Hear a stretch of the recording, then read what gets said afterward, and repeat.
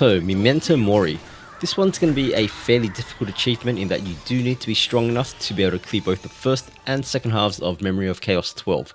So this guide isn't going to cover that part, so you will need a team that's strong enough to clear up to that point. But what we will cover though are the mechanics of the fight itself and how we can work around those mechanics in order to get this achievement done.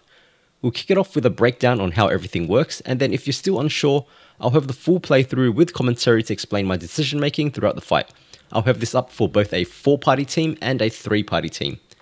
So this achievement requires us to beat the boss, something unto death, with only one character able to take action.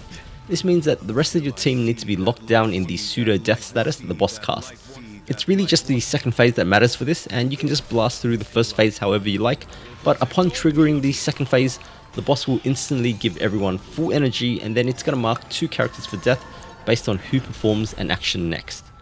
So because we're granted full energy, we can choose who gets marked for death by using that character's ultimate. The first two characters to either perform an attack, skill or ultimate will then get marked and get killed and imprisoned once the boss takes its next turn. Now, early into phase 2, you're going to want to break them out of that state as soon as you can. You can do this by dealing 5 instances of damage to the imprisoned character, and this can be done through attacks, but dots will be the most effective way of breaking them out as the damage will trigger outside of your turn. If you don't break them out on time, the boss will repeat the same phase again, granting you full energy and then marking 2 more characters for death and then if all four characters get marked and killed, it's game over. So when running a team of 4, what you will need to do is play through phase 2 until you get the boss low enough that you feel that you're comfortable enough that a single character will be able to take him out within a single turn.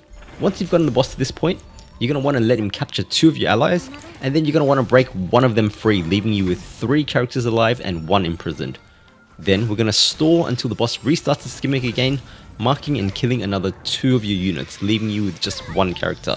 It's now up to this one character to kill the boss before its next turn, while actively avoiding releasing any of your other characters. If you manage to pull this off, the achievement is yours. With a 3 character team, it's going to be a little bit slower due to less DPS, but it's also going to be a lot simpler in that you will always want to keep all 3 characters alive until you're ready to kill the boss.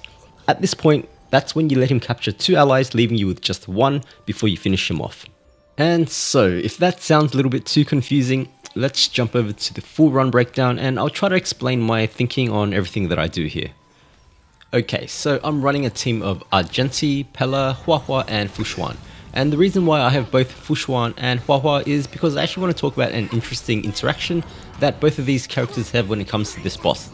So both Huohuo and Fu Xuan's passive talents, so that's Fu Xuan's damage absorption and Huohuo's heal that triggers on every ally's turn, these effects usually tick down at the end of their turn, but if they get killed and imprisoned, these effects stay active until they take another turn, which means that the benefit for someone like Fu Xuan is that you pretty much have full usage of the character even when they're imprisoned, which is amazing. Huohuo isn't as great as Fu Xuan here since you're not going to have access to her heals via her skill, but with Fu Xuan you pretty much have 90% of the character still active even when she's captured.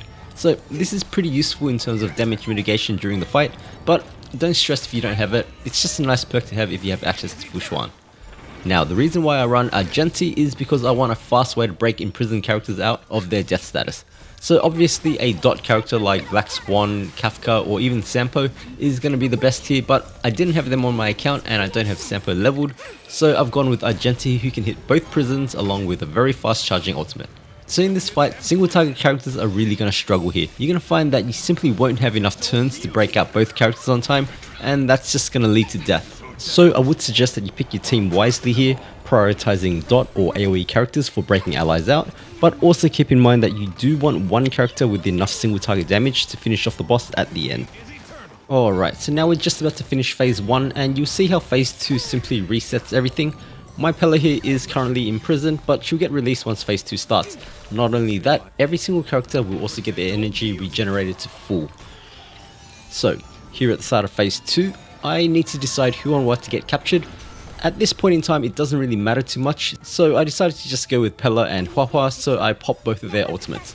They're not going to get killed straight away though, so we still do have time to squeeze out a little bit more damage, you can see here however that they both do have an eye marker above their portraits to signify that they're the ones who are going to get killed once the boss starts his turn.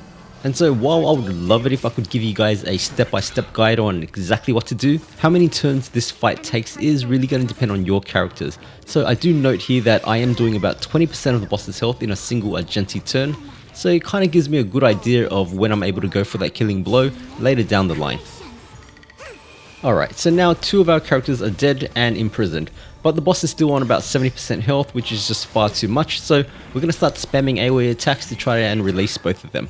So you can see Argenti in action here with him getting really quick ultimates to strip stacks. Normally you do want to save this ultimate to use the level 2 version for more damage, but here in this fight we just want to strip stacks as fast as possible, so we're going to be spamming those level 1 ults. Okay, so the boss is now sitting on about 60% health, and I'm just going to speed through the next 40% or so because we're just going to be doing the same thing here. We want to keep all of our characters alive, so we're just going to keep breaking them free each time they're captured. Right, so to continue our video here, the boss is just under 20% now and we've got two characters imprisoned. So we're going to break both of them free and we're going to prepare for the finishing blow. Now, so with four characters alive on the field, we're going to let the boss start his phase again, giving us full energy, and I'm going to pop both Huohuo and Fu Xuan's ultimates to get them targeted. With their turns, I'm going to be using both of their skills as well so that we get the passive effect to stay active while they're imprisoned. With Pela and uh, Argenti, I'm just going to start whittling down the boss slowly, I do have a level 2 ultimate on uh, Argenti that I'm holding on to since I don't want to accidentally kill the boss too early. And for now, we're just going to start stalling until the boss kills Huohuo and Fu Xuan. Okay, so now at this point we're on a timer. If we let the boss go into his marking and killing phase again, we're going to fail the run. He usually does this on his third turn, so we need to break out one character within that time, leaving the other character with as many stacks as possible. So because of this, I'm going to only be using single target attacks to break Huohuo out, and with two characters alive, you should be able to do this before the boss does the killing attack again, but I do get lucky here and the Memory of Chaos Turbulence does randomly target Huohuo, which does help me take out a few stacks as well. And just like we planned, the boss starts marking his targets again while we have three characters alive. I'm going to use Pela and Huohuo's ultimates to ensure that Argenti remains alive as the last man standing. And so at this point we just need to be really careful in regards to how much damage we dish out. We definitely don't want to accidentally kill the boss here so I just throw out a couple basic attacks until Huohuo and Pela get killed. Now once that happens, I'm able to then line up my level 2 Argenti ultimate and unleash it on the boss. Thankfully, Fu Xuan still has 4 stacks up, so the splash damage here isn't enough to break her free, and so we managed to land the killing blow with Argenti as the only character able to take an action, which nets us the achievement Memento Mori. Okay, now let's also take a quick look at the 3-man composition. I would only recommend running a 3-man team if you've got an AoE dot character like Black Swan, so that you can solo rescue both of your teammates. So this is a perfect example here of why Black Swan is just so powerful. You can see here that even though Black Swan gets killed and imprisoned, her Arcana stacks are still active on the target, ticking away at both prisons and also the boss which allows Luocha who is a single target healer to still rescue both Black Swan herself and Gepard. So other than that, it's not too different. With three characters, you just need to wait for the boss to capture two of your teammates before you nuke it down, which I'll show here. And so that's it for the tips really. Let me know if you found a better way down in the comments, and if you've got any questions, feel free to also ask down in the comments, or jump into StarDB Discord where there are plenty of achievement hunters who are ready to help.